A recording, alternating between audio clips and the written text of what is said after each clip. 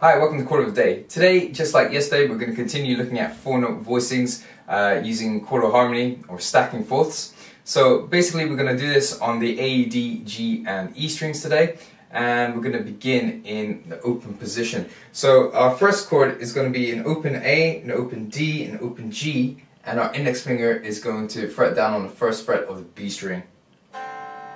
Oop, might help if I had a little volume.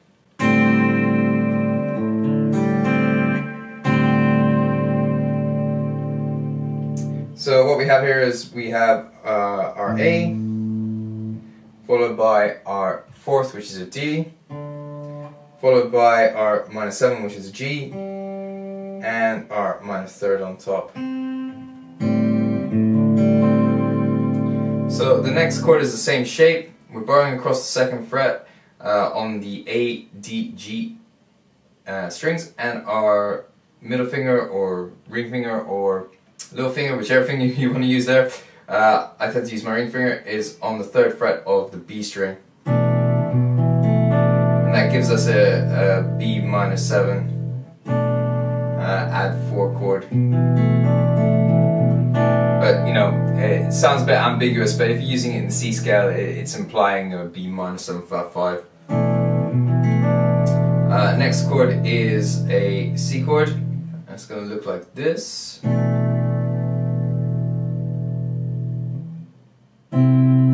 Sorry. Okay. The next chord is the C chord.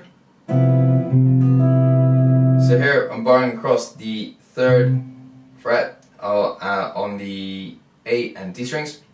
My ring finger is playing the fourth fret of the G string and my little finger the fifth fret of the B string.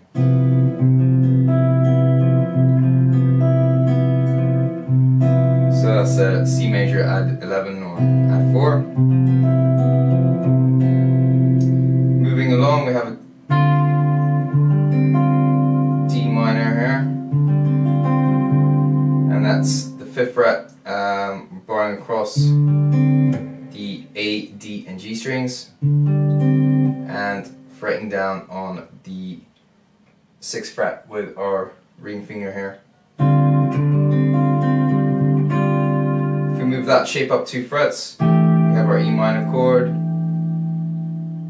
and then we get to uh, the 8th fret for our F major chord, and this one is a slightly different shape. We have uh, our index finger on the 8th fret of the A string, our middle finger um, on the ninth fret of the D string. Now you can choose to use your middle finger to, to bar across the ninth fret of the G string and the D string together and then add your ring finger or your little finger on the 10th fret of the B string or you can play it like so uh, one finger per, per string.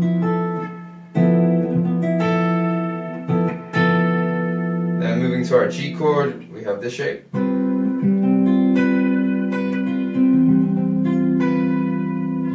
So, uh, sorry, I hit the low E string there. Um, I'm barring across the 10th fret of the A, D, and G strings, and then my little finger is playing the 12th fret of the B string.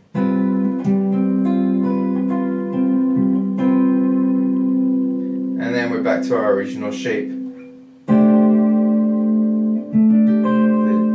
Our A chord there.